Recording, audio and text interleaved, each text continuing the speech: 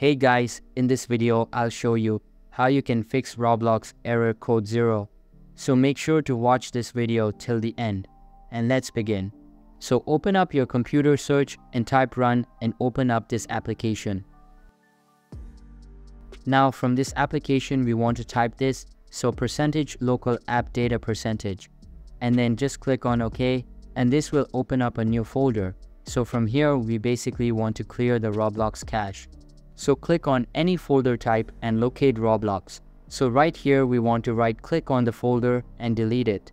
This will delete all of your saved cache or cached files for Roblox.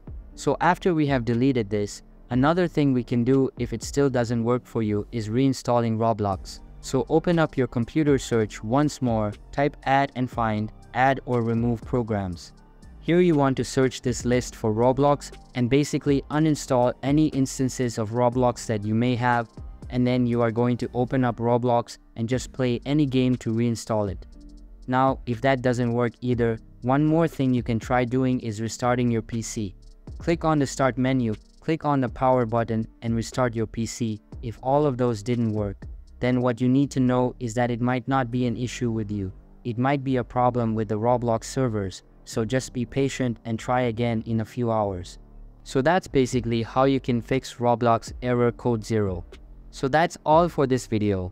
Hope you liked the video. Thanks.